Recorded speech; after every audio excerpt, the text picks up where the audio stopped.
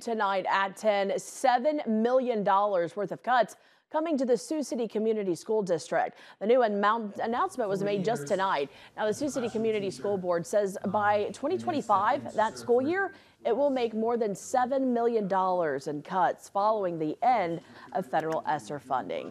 On top of reducing staff in some areas, the board says it plans to close two of the district's pools end its lease of space in the Ho Chunk Center and disband some of the IJAG job training programs within the district.